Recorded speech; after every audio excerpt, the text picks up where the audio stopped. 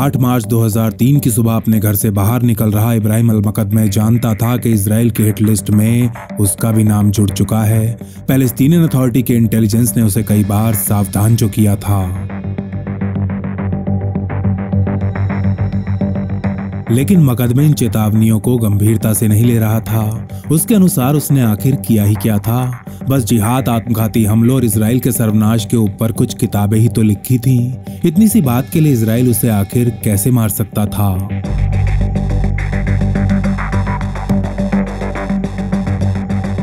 फिलिस्तीनी युवाओं को बरगला के चलता फिरता बॉम्ब बनाने के अलावा Maqadmeh Islamic university of Gaza में डेंटल साइंस भी पढ़ाया करता था और आज की सुबह उसके बॉडीगार्ड्स उसे यूनिवर्सिटी ले जाने के लिए उसके घर से पिकअप कर रहे हैं।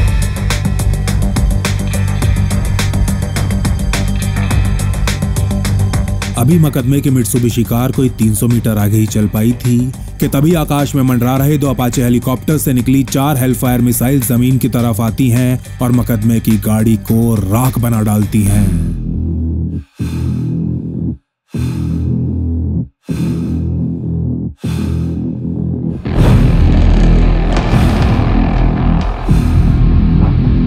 इब्राहिम अल मकदमे उसका असिस्टेंट और the bodyguards operation clean sweep की सबसे पहली कैजुअलिटीज बन चुके थे। एक ऑपरेशन जिसे इसराइल के प्रधानमंत्री एरियल शरॉन और उनकी सिक्योरिटी कैबिनेट ने अभी एक महीने पहले ही अप्रूव किया था।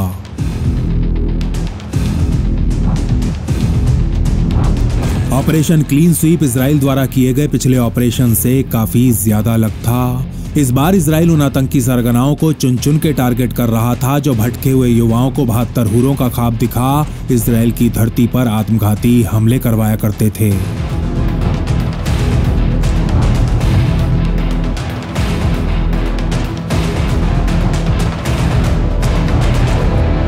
इस बार शरोन अपना मन बना चुके थे। वो कुछ भी करके हमास और दूसरे आतंकी संगठनों की समस्त लीडरशिप का सर्वनाश कर देना चाहते थे। मकदमे के तीन महीने बाद इसराइल एयरफोर्स का एक ड्रोन हमास के number two Abdul Aziz Rantisi के ऊपर फायर करता है, लेकिन घायल हुआ रणतीसी किसी तरह बच निकलता है। इसके बाद 12 अगस्त 2003 के दिन हमास के को फाउंडर और राजनीतिक विंग के नेता इस्माइल अबू शनाब को पाँच इसराइली हेलफायर मिसाइल्स गाजा स्थित यूएन बिल्डिंग के बाहर मार गिराती हैं।